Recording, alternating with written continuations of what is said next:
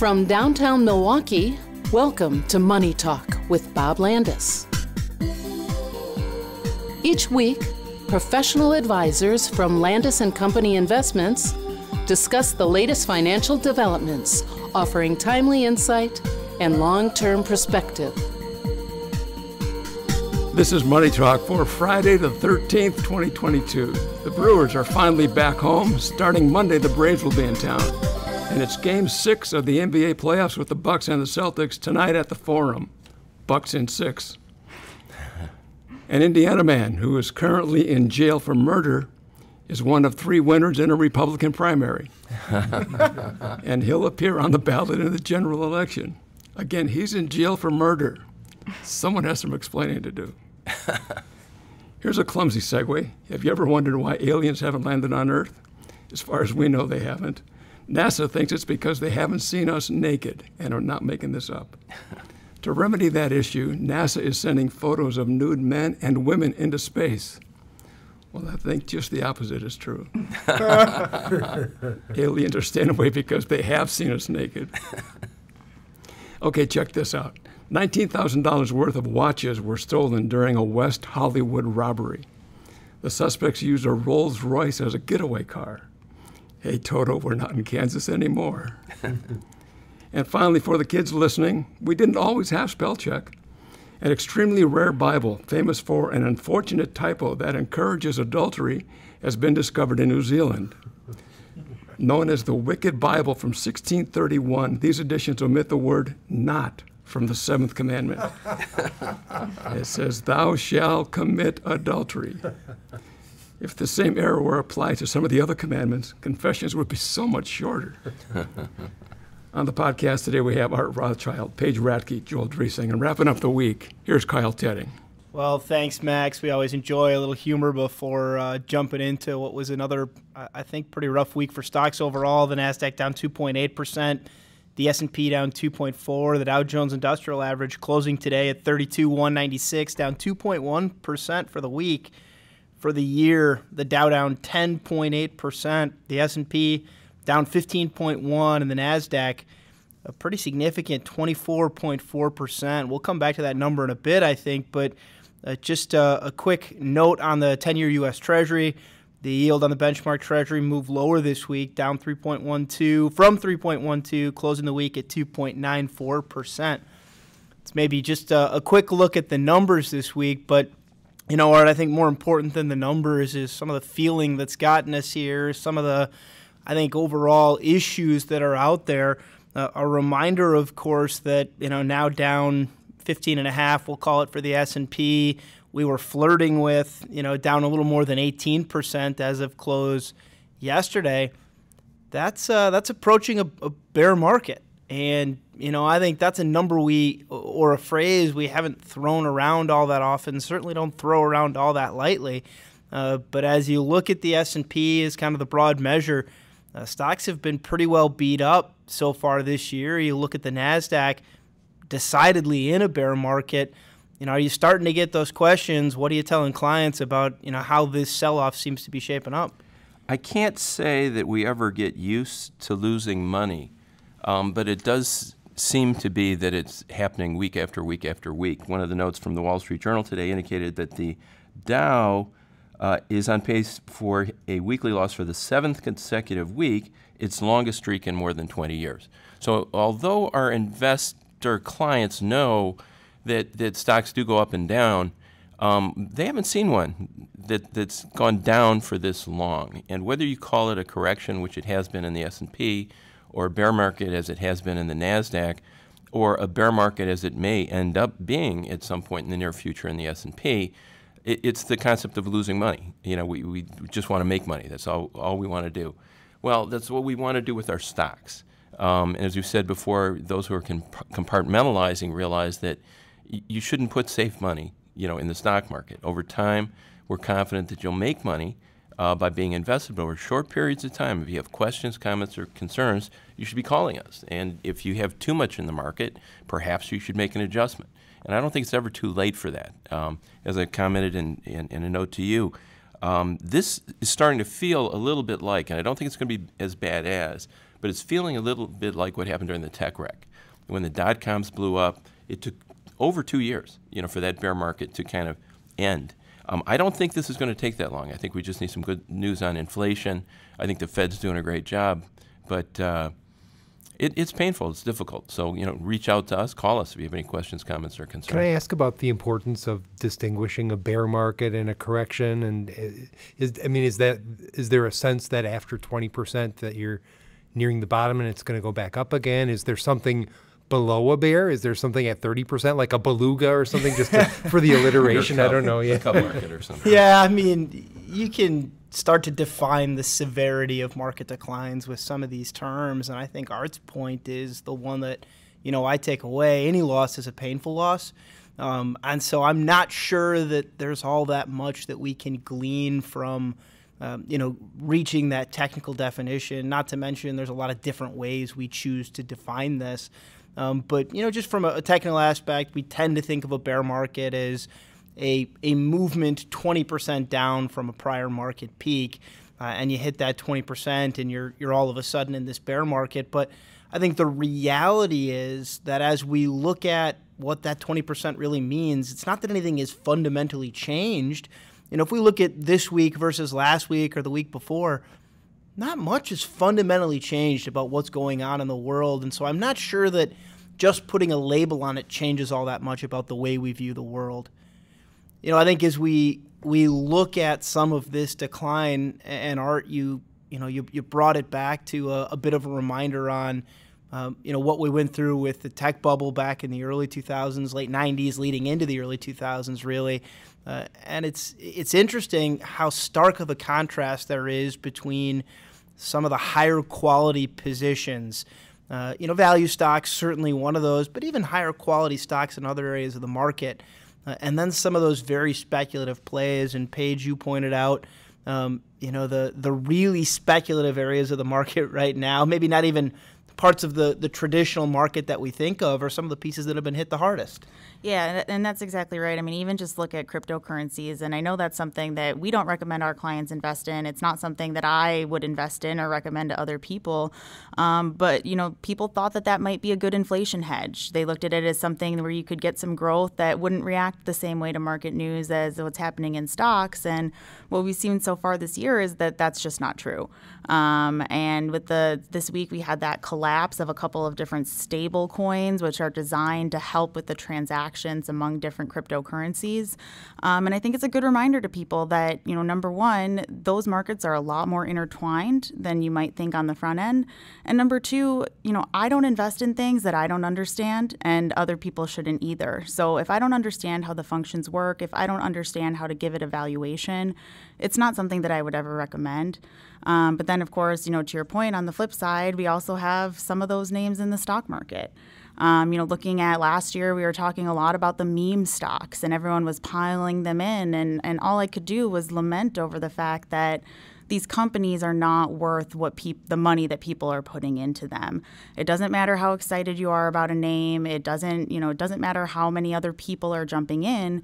If they don't have stable cash flows, if they can't meet their debt obligations, if they don't have solid earnings, it's not something you should be investing in. And so I think what we're seeing right now in the market is really a shift away from what is exciting to what is actually generating returns. And, you know, personally, as someone who's trained in fundamental stock analysis, I'm at least happy to see, despite all this volatility, that we're getting back to fundamentals and focusing on real investing rather than just those speculative plays. Well, and I, am going to absolutely butcher the uh, the saying here, but it's when the tide goes out that we find out who's swimming without swim trunks, right? And so I think the tide has certainly uh, been on its way out the past few weeks, and you're starting to see the ugly ducklings, you're starting to see the ones that don't belong. And yeah, maybe NASA can use some of those photos, Max, for uh, some of what they're what they're sending out there for the aliens. But I think you know the reality is that there are still a lot of really high quality businesses out there. There are still a lot of things that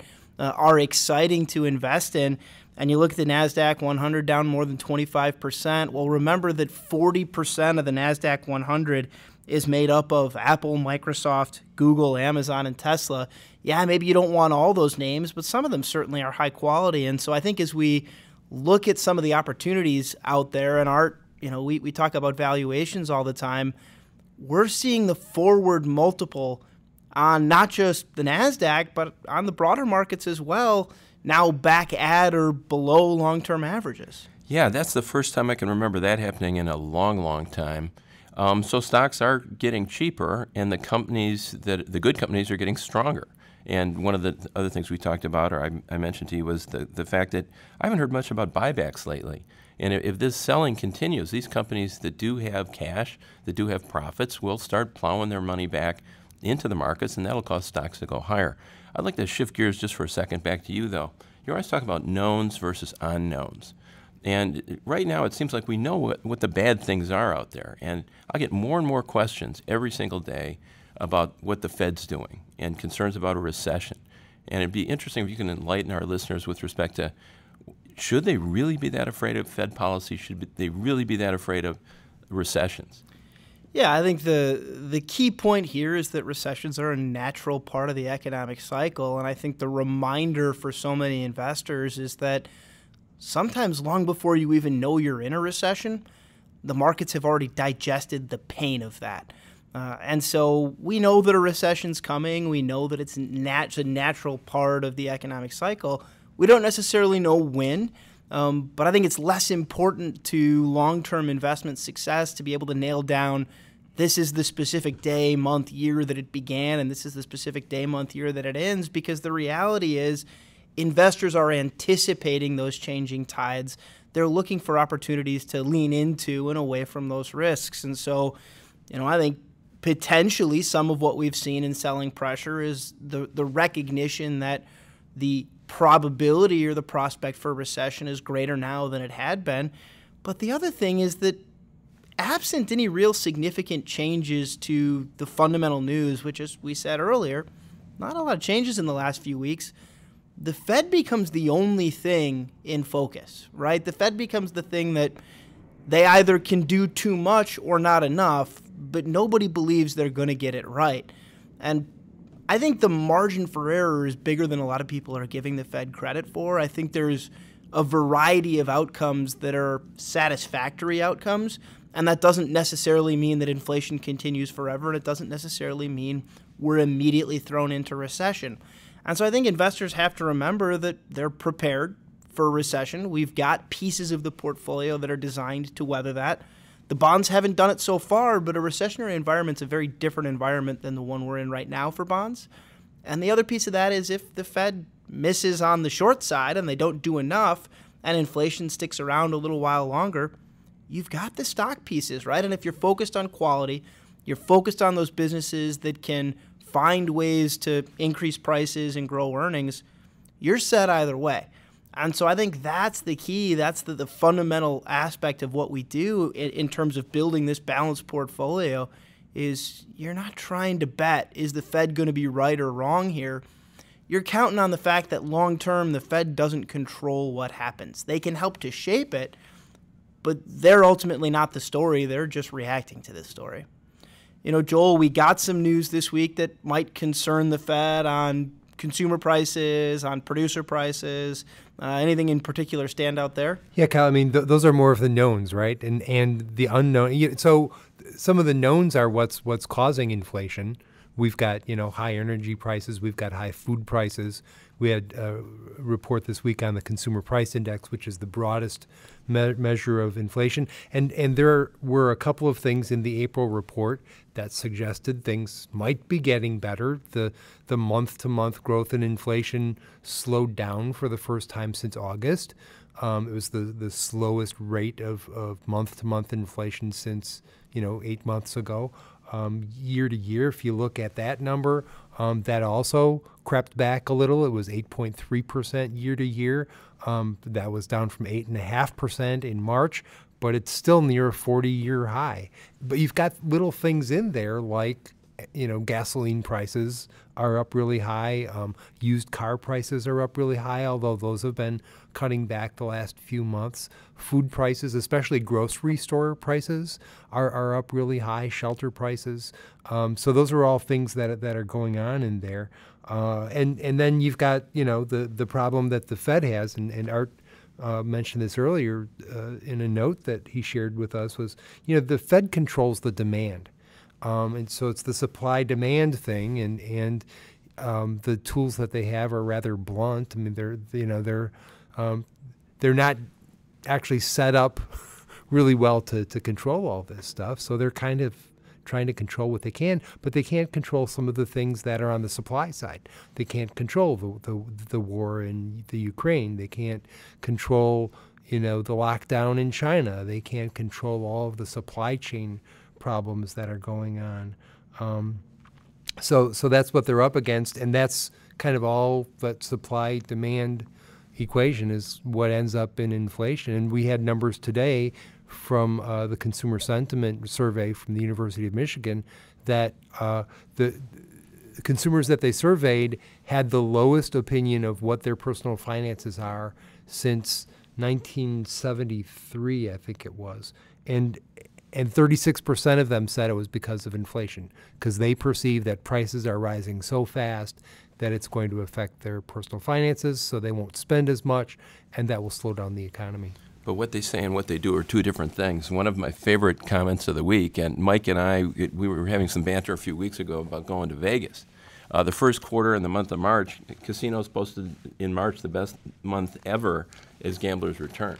So just don't worry, be happy, spend some money. And that's what consumers are doing, regardless of what they're telling the people asking their questions. Well, and the other thing, too, is, you know, Joel mentioned that the consumer sentiment, they're worried about their personal finances at a time when most consumers have a lot of cash on hand. They have a lot of savings. Now, we are starting to see signs that those are being dipped into, um, but, but people stored up a lot of cash during the, the um, pandemic, and not all of that has made its way back into the economy yet. Um, and so they might be concerned. They might have gotten used to having that amount of cash in their savings account. But the reality is, is that consumers have the flexibility right now.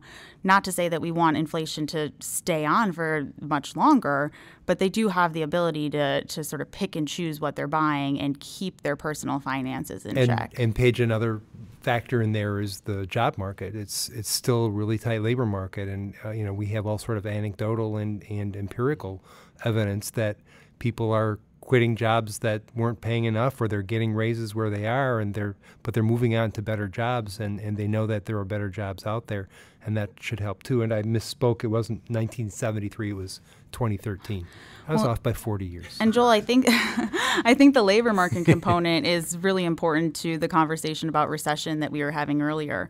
You know, I think we all tend to have a recency bias and we think, okay, technically there was a recession because of the pandemic. The recession before that was because of a destruction of the US housing market and financial markets. We all tend to look at that and think that's what a recession is. Um, but the reality is is that we could have a short, shallow recession and when you look at the job market and the fact that, you know, realistically, we're dealing with some level of a labor shortage right now. And so, if we do see a little bit of a pullback in the economy, I would be unlikely to see a bunch of layoffs, a bunch of people struggling because we have that demand for workers that's not necessarily going to go away. Hey, Kyle, can I throw one more question at you? Uh, a lot of clients clients are asking about bonds. Um, and what happened today on Wall Street is we had bonds go down, yields go up, as stocks went up. So the question is, what is the normal relationship? What should we be expecting, especially with the Fed continuing to raise short term rates? And not to be overlooked is the fact that the long term rates went up before the Fed even really did anything. Yeah, I think that's that's the the maybe multiple trillion dollar question that so many people have been asking is what what's going on with my bond? What's going on with my bond funds? And I think the reality is that um, some of those longer rates were moving higher long before the Fed made any moves, in part in response to inflation and in part anticipation of what the Fed was going to do. And so you had a breakdown between the typical relationship of stocks and bonds. You know, we've always said for years that uh, when stocks zig, bonds tend to zag. Uh, and so it tends to be that when stocks are in decline, as they have been for much of this year, you normally see that your bonds are, if nothing else, you know, treading water or maybe making a little bit of money. As long as you're high quality, as long as you're focused on the right places. Um, the difference this year has been just how quickly interest rates moved higher. Again, in part in response to inflation, and in part, I think, in response to some knowledge of what the Fed was going to be doing. Uh, and that has led to this breakdown. Remember that as interest rates rise, bonds that are out there paying lower rates look less attractive, and so the prices tend to fall short term. One important caveat to that long term bonds mature at par. Unlike stocks, which are only worth what someone's willing to pay based on expectations of earnings and some modeling that maybe tells them this is how much I, I should be willing to pay. Bonds have a, a set price that they're going to be worth when they mature. And so, unless you're worried about default, unless you're worried about bankruptcies, and that's not really been part of the conversation, you have some reasonable some reasonable idea of what you should be getting for those bonds. It just takes a little time to get there. And so I think the the saving grace for bonds has been we know they're going to mature at par. They might be trading at a little bit of a discount right now, but as you get closer and closer to that maturity, you get closer and closer to that par value. The other is that all these new bonds that are being issued at 3% on the 10 year treasury, roughly 294 as of the close of the week, even better for some corporate bonds, high quality corporate bonds that are out there. All of a sudden, you can get paid pretty decent money to hold some high quality bonds. And a year ago, 18 months ago, if you were looking for safety, you weren't getting paid much to do it. And so, you know, I've been pointing investors to treasury markets or even what they can get in a CD and reminding them, hey, this is two or three times what you could have gotten a year ago. And yeah, you had to put up with some pain to get here. But if all we really care about is four or five years from now, am I going to get my money back? And can I get a better rate of return so that I can count a little more on bonds? I'd argue this is a pretty healthy cycle to go through. We just have to get through a little bit of the pain to get there, and that's absolutely what we've dealt with so far this year. Well, thanks for listening. We enjoy doing the program for you. We'll talk to you next week. Thank you for listening to Money Talk with Bob Landaas. If you have a financial question you want answered on next week's show, email it to moneytalk at landaas.com. To keep informed throughout the week, visit our Money Talk page at landaas.com.